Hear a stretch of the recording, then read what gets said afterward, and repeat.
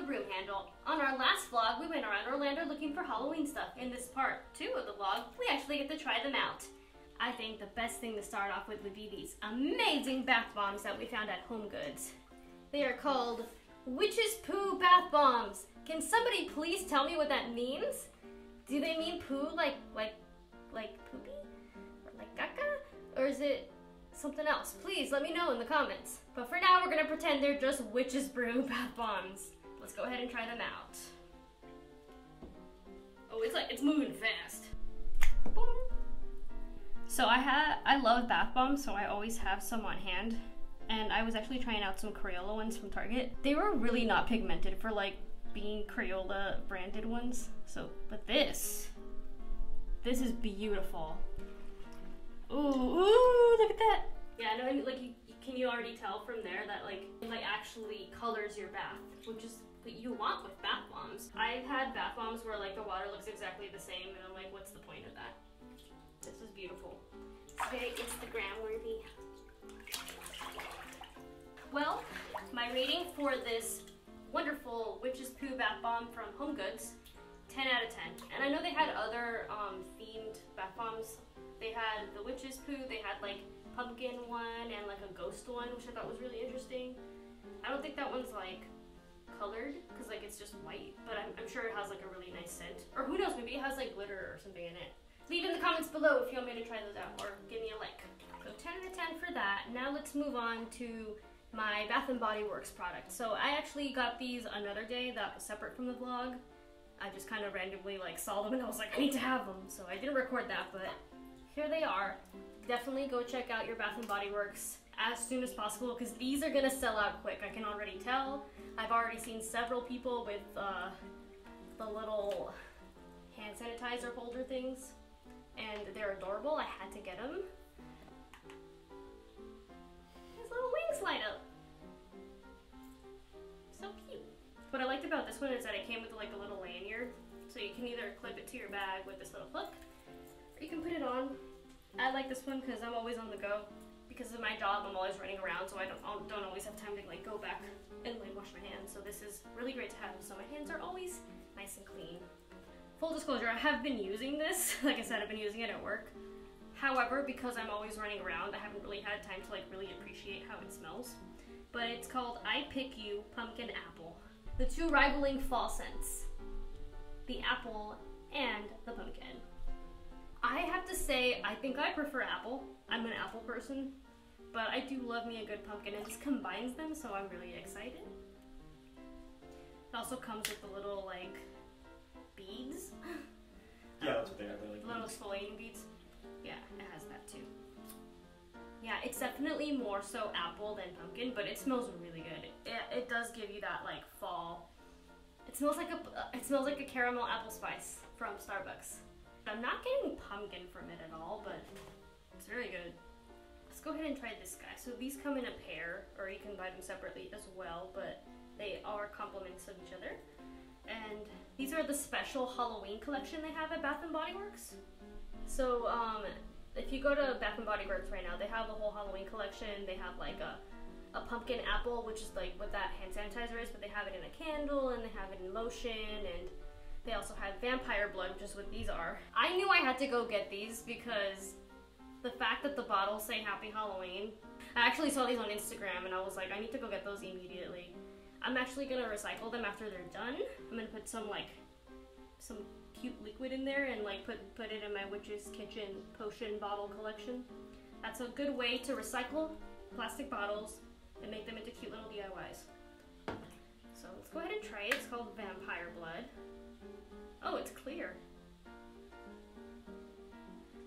Vampire blood is clear. I was expecting like a deep red, kind of like like the one in here. Like I know they have red, cause like I've seen it. Like they have like a pumpkin scent. The, look, the the candy apple is red. Right, they have. They have red. They have red. Like I just think it's interesting that like they would have something called blood and it doesn't have like red. Not even any pigmentation. It's just. It's just clear. That's so weird. Oh, can you see that? No. No, because it's clear. the, uh, the hand soap was red. So I was expecting this one to be red. I don't know why it's clear. But I guess if you need some information about vampire folklore, apparently, according to Bath and Body Works, their blood is clear. So I wasn't getting any. I was just getting like a generic soap scent. It's very light. Like I can barely get any scent off of that.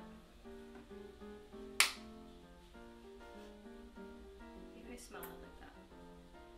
So now that I have it like raw on my hand without like lathering it, it's I'm getting more of a scent. It kind of smells like Froot Loops. It's just really not what I pictured vampire blood smelling like.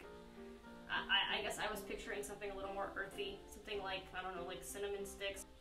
This this this just smells like Froot Loops. Froot Loops with like with Dawn. It smells like Dawn soap. Like if Dawn soap had like a, a scent that was like Froot Loops.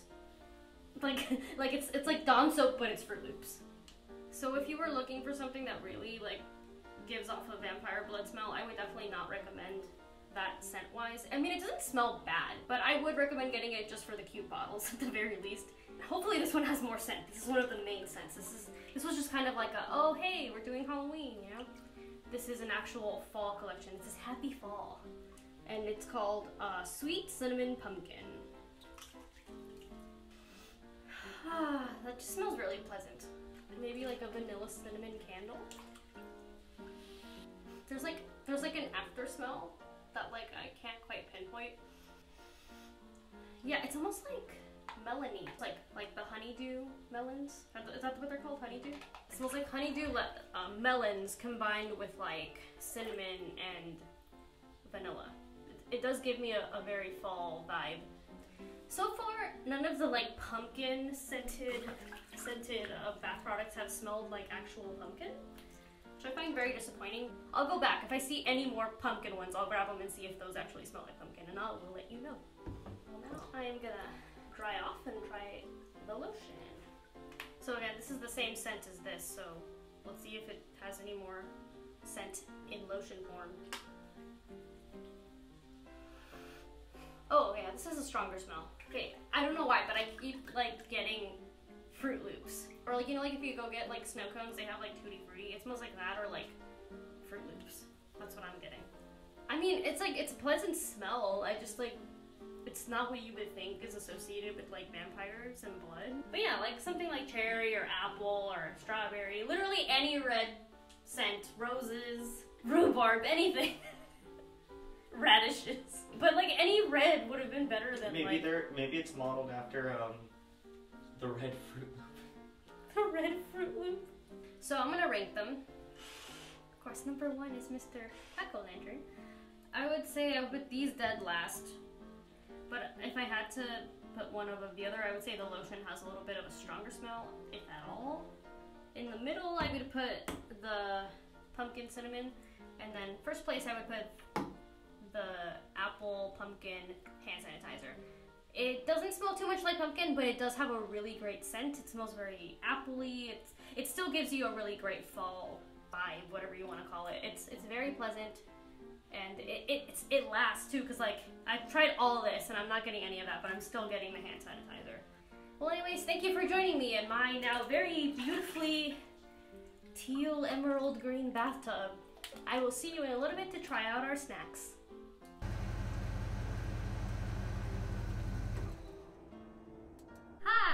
Welcome back. Hello.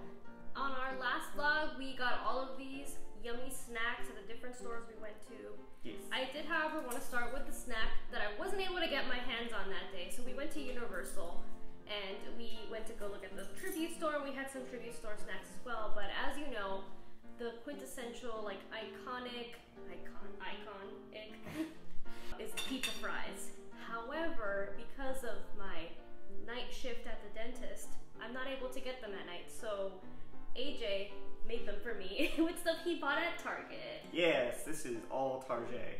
Um, so it's just the crinkle cut fries. Uh, you have mozzarella cheese, uh, tomato sauce that I turned into sort of like a pizza sauce, and then uh, pepperoni on top. Super I- simple. It looks so good. Um, it looks just like the one from Universal. The only difference is that they have like some other meat on top of it. I think it's like like sausage. Yeah, but I don't like sausage on my pizza, so I've I'm, heard it's also spicy, so th- then this is not spicy. yeah, I can't have spicy stuff. If you guys didn't know that.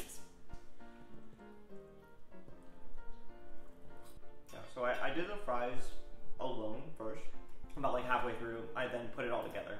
So then I put like the sauce and the cheese and the pepperoni and blah blah blah. I think I would have liked to bake these or maybe like air fry them a little bit longer. They are a little bit soft still, but that's okay. Hashtag Master Chef. Yes, you are. I love you. I'm gonna put a big graphic that's like Master Chef. They are really delicious, and you can. I mean, the great thing about making pizza fries on your own is you can make it however you want. I don't know if they have different like flavors of pizza. If you, you know what I mean? Like, Yeah. they have just cheese or just pepperoni, or if they I have think like. I think it's just like pizza fries. Like it's just one pizza fry.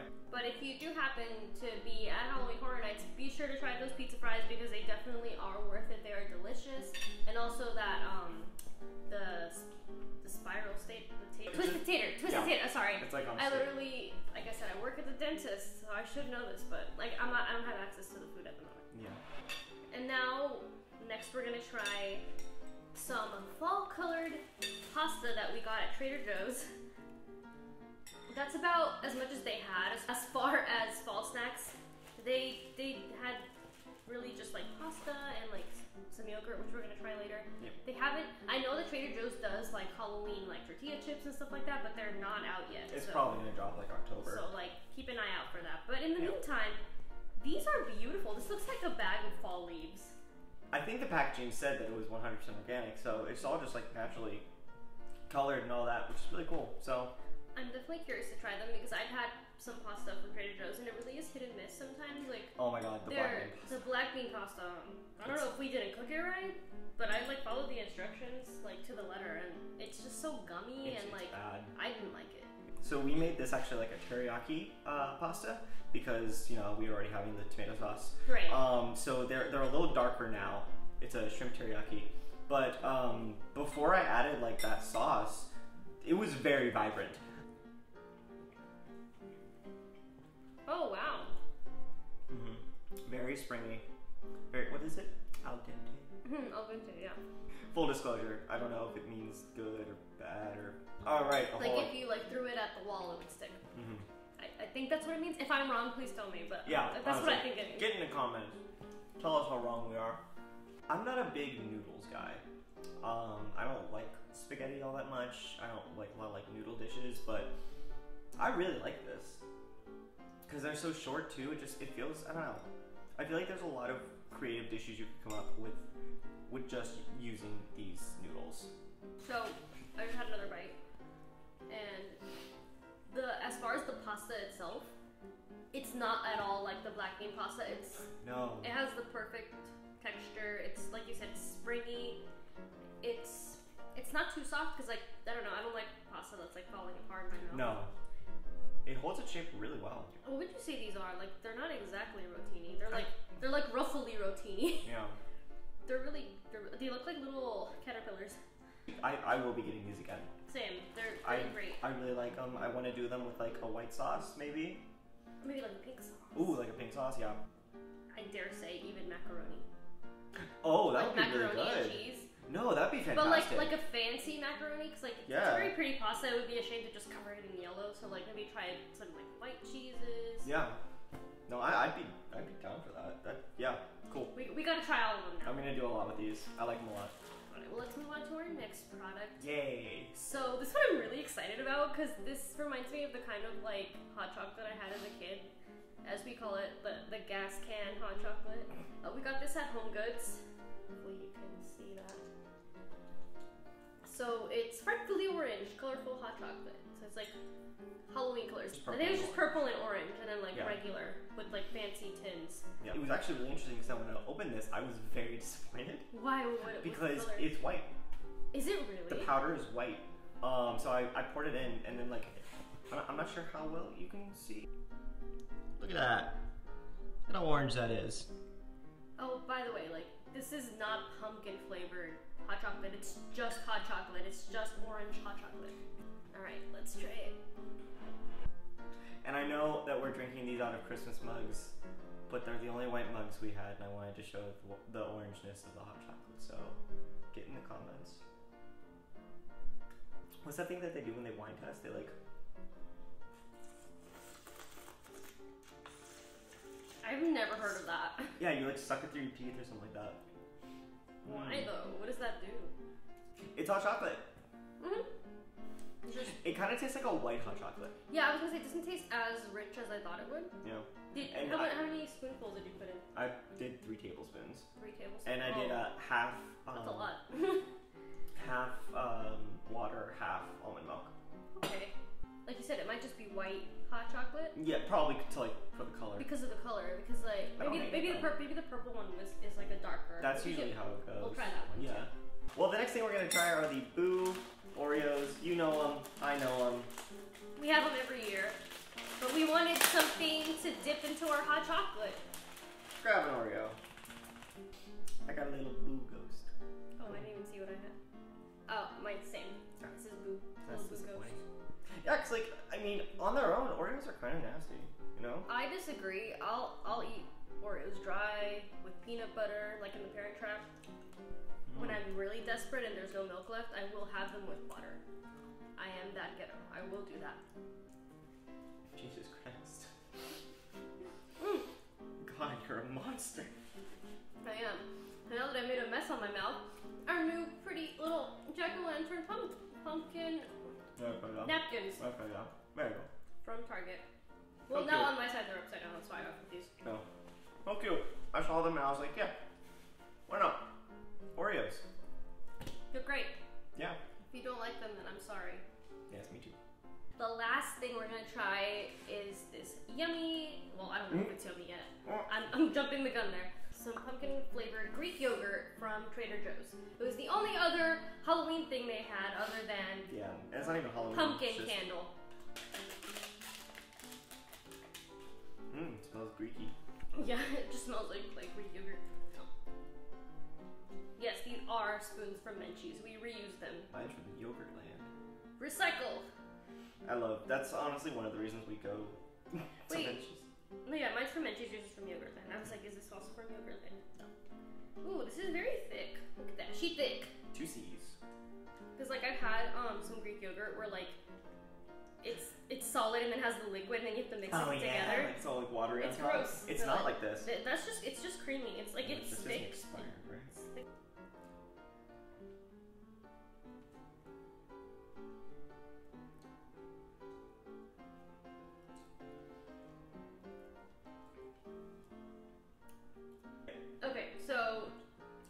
Kind of just like plain Greek yogurt with like a hint of pumpkin and like not pumpkin spice, just pumpkin. So it is true to what it says on the label. It does taste like pumpkin, not pumpkin spice.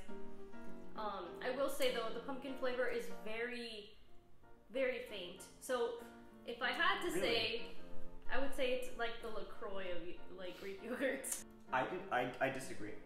I the first thing I got was pumpkin.